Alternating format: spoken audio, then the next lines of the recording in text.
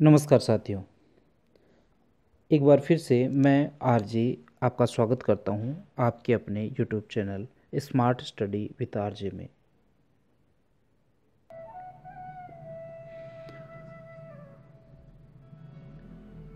साथियों, आज हम चर्चा करेंगे राजस्थान के इतिहास में इतिहासकारों के मध्य चर्चित रहे एक विवादित प्रश्न, मेवाड़ की राजकुमारी कृष्णा कुमारी विवाद के विषय में। हम चर्चा करेंगे कि क्यों एक राजपूत राजकुमारी को दो राजवंशों के संघर्ष के बीच अपने प्राण गंवाने पड़े। हम ये भी चर्चा करेंगे कि गिंगोली का युद्ध और उसके परिणाम क्या थे। हम चर्चा करेंगे इस प्रकरण से संबंधित चार प्रमुख पात्रों को। साथ ही हम चर्चा करेंगे पिंडारी सरदार अमीर खा पिंडारी की, जिनके कहने पर राजकुमारी कृष्णा कुमारी को जहर दिया गया। तो आइए, सबसे पहले मैं इस प्रकरण के प्रमुख पात्रों के विषय में आपको जानकारी देना चाहूँगा। ये हैं मेवाड़ के महाराणा भीम सिंह जी। इनकी पुत्री थी कृष्णा कुमारी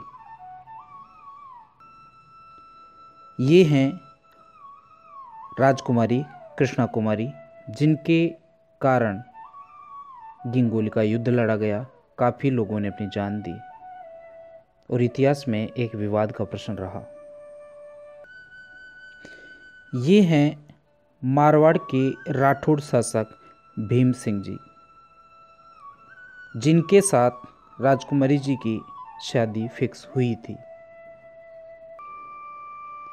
ये हैं जयपुर के कछावा शासक जगत सिंह।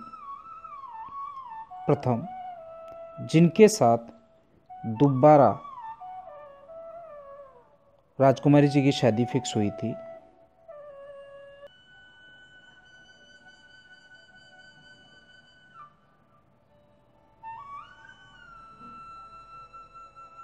ये हैं मारवाड़ के नए शासक मानसिंह राठौड़, जिन्होंने आपत्ति की थी कृष्णा कुमारी जी की लग्न पत्रिका जयपुर भेजने को लेकर।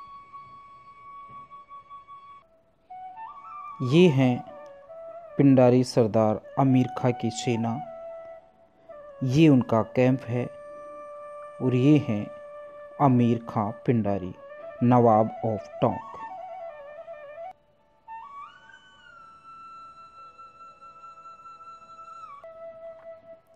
ये हैं अजीत सिंह चूड़ावत, जो महाराणा भीम सिंह जी के विश्वस्त सैनिक थे।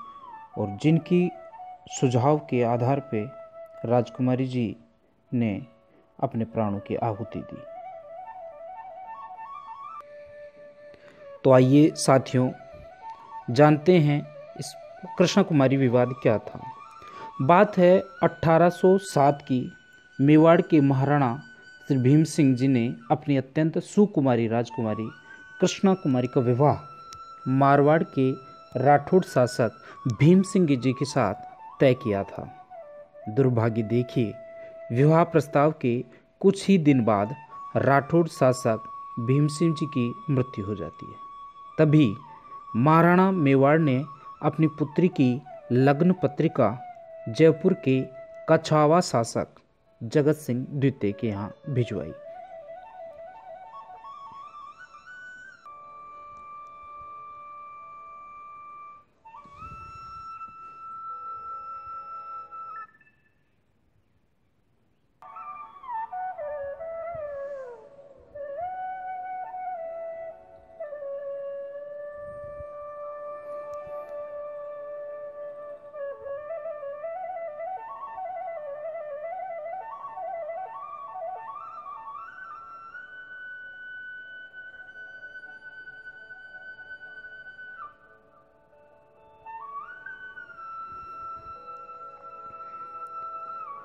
लग्न पत्रिका मारवाड़ से जयपुर स्थानांतरित होने पर मारवाड़ के नए शासक।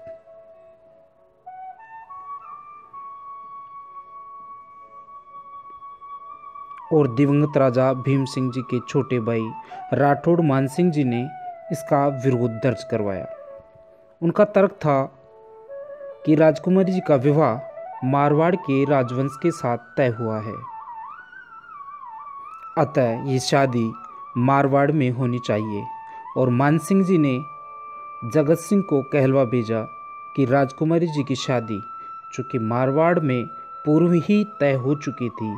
अतः उनकी डोली उठेगी तो केवल और केवल मारवाड़ के लिए अन्यथा लाशें बिछ जाएँगी और पहली लाश उसकी होगी जिसके सिर पर शहरा होगा।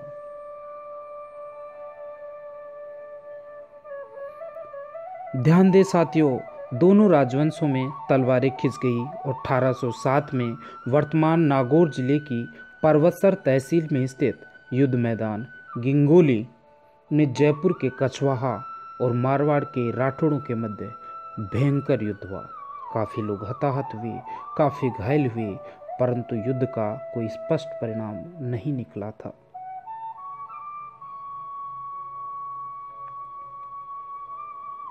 तभी दृश्य में पदार्पण होता है टोक के नवाब पिंडारी सरदार अमीर खां पिंडारी का।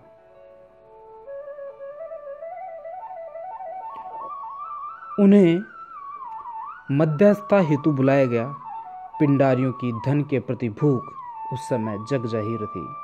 फिर भी मध्यस्थता हेतु इस प्रकार के व्यक्ति का चयन किया जाना और उसके सुझाव चयन किया गया, उसने सुझाव दिया, जिसे कोई भी सभ्य समाज स्वीकार नहीं कर सकता। परंतु उसका सुझाव माना गया और क्रियान्विति भी हुई, जिससे राजपूती गौरव की चमक, आभा और प्रतिभा की रोशनी धूमिल हुई।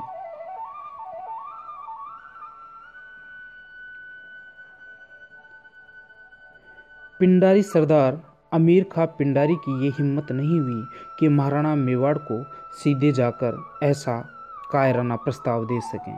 अतः महाराणा मेवाड़ के विश्वस्त सरदार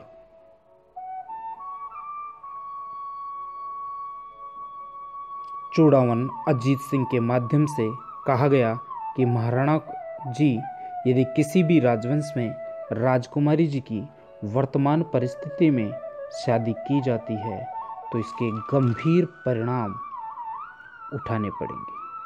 भयंकर युद्ध होगा। मारकाट मचेगी।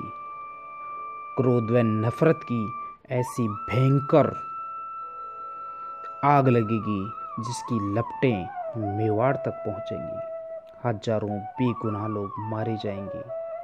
अतः कुछ इतिहासकारों के कहने पर इसके विषय में लेकर राजकुमारी जी ने निरपराध लोगों को मृत्यु की विभीषिका से बचाने के लिए स्वयं ही विष पान कर अपने प्राण त्याग दिए, जबकि कुछ इतिहासकार लिखते हैं कि उनको जहर दिया गया था।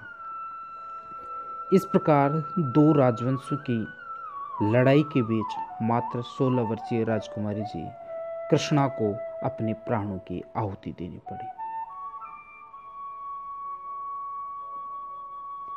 धन्यवाद साथियों। यदि आपको ये वीडियो लेक्चर पसंद आया हो तो प्लीज़ वीडियो को लाइक करें, शेयर करें और नीचे कमेंट सेक्शन में कमेंट करें ताकि मैं आने वाली वीडियोज़ में विषय वस्तु की गुणवत्ता में सुधार कर सकूँ। धन्यवाद।